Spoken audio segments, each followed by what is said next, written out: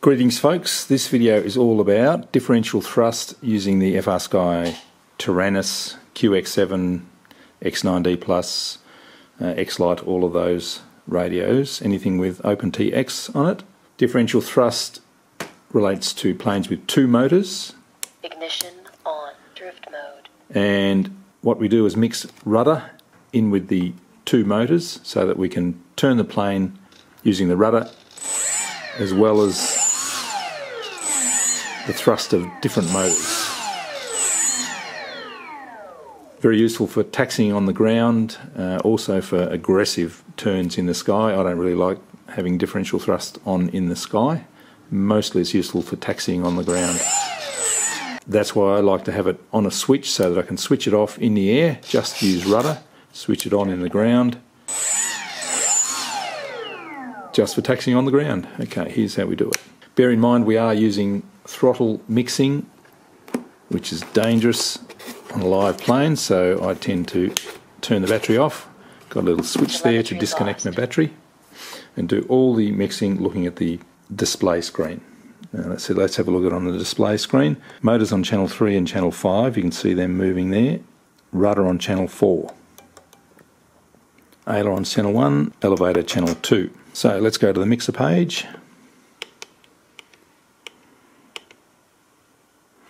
So we have throttle on channel 3 and channel 5.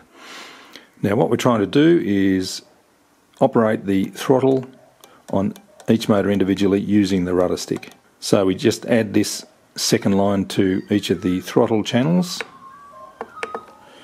Source is the rudder. The weight is whatever you want. If you want aggressive turning, then you'd, you'd have that higher. Less turning, you'd have it lower.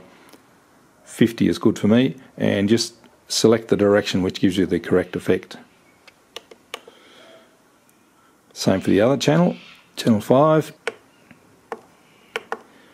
Rudder is the source, weight is 50. Now I've also put that on a switch so that I can switch the effect off. SB switch in the middle position activates drift mode or taxiing mode, which activates the differential thrust any other position and it's off.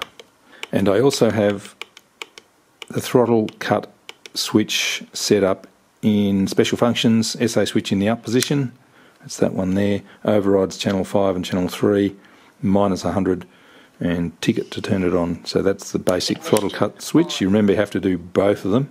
Usually you would only have channel 3 on the throttle cut switch, but you have to do both of them. And to turn differential thrust on and off, we've got the SB switch. And that's all there is, so let's just have a look at that effect. Have a look at the effect on the screen here.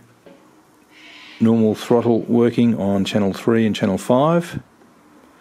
Rudder working on channel 4. Turn on differential thrust and we get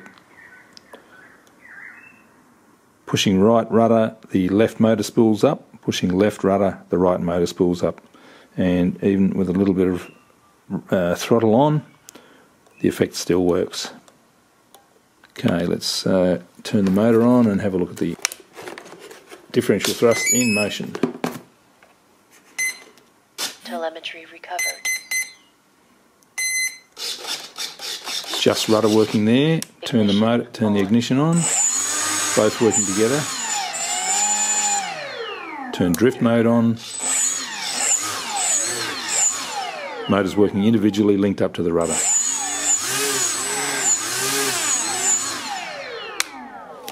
And that's it. Thanks for watching.